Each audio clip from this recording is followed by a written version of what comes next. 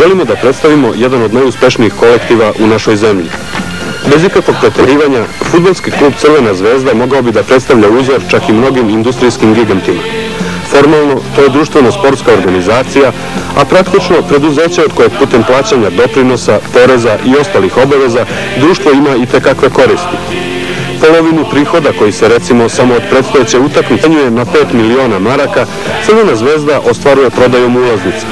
Sve ostalo zarađuje od reklama, turneja, transfera igrača, prodaje prava na TV prenose, iznajmljivanja poslovnog prostora, štampanja svog lista, od turističke agencije i zadruge navijača Delije koja prodaje navijačke rekvizite i ovakve VHS kasete sa koje gledate snimke. I ako se nakon ovoga nađu skeptici koji će reći lako je njima, uputit ćemo ih bar malo u tajnu zvezdinog uspešnog poslovanja.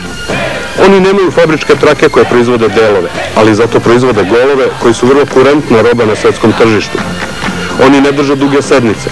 Nakon kratkih radnih dogovora svi idu na ostvarenje svojih zadataka i naravno to čine veoma uspešno. Dok su druga preduzeća gomilala administraciju, Zvezda je stvarala akumulaciju.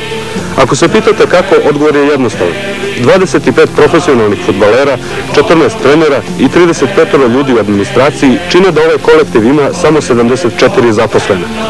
Kad se ovaj broj uporedi sa zaradom koju smo ilustrovali samo primjerom predstojeće utakmice, jasno je kako se stvara uspešno finansijsko poslovanje. A uzmemo li još u obzir da će 50.000 ljudi van Beograda, koliko se procenjuje da će doći na utakmicu s Bajernom, ostvariti i tekakav finansijski priliv u gostiteljstvu, saobraćaju i trgovini glavnog grada, onda se sa sigurnošću može reći da je Crvena zvezda dragoceni srpski i jugoslovenski gigant na koji bi se mnogi morali ugledati.